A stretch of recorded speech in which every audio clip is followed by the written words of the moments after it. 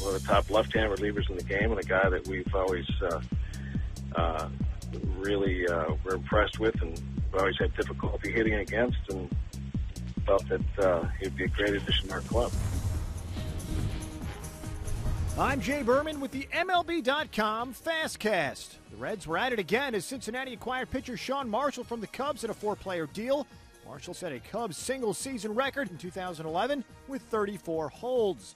Over the last two seasons, Marshall ranks second among all major league pitchers with 158 appearances.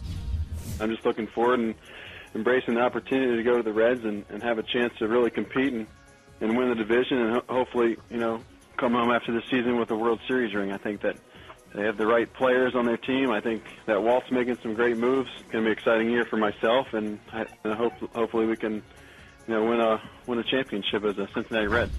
In exchange for Marshall, the Cubs landed pitcher Travis Wood, outfielder Dave Sappelt, and minor league infielder Ronald Torreyes. Wood went 6 and 6 with a 4.84 ERA and made 18 starts for the Reds in 2011. Sappelt played in 38 games with the Reds last season and compiled a 243 batting average. The Nationals trade for Gio Gonzalez is now official. Washington general manager Mike Rizzo really likes the way Gio will fit into the Nationals rotation.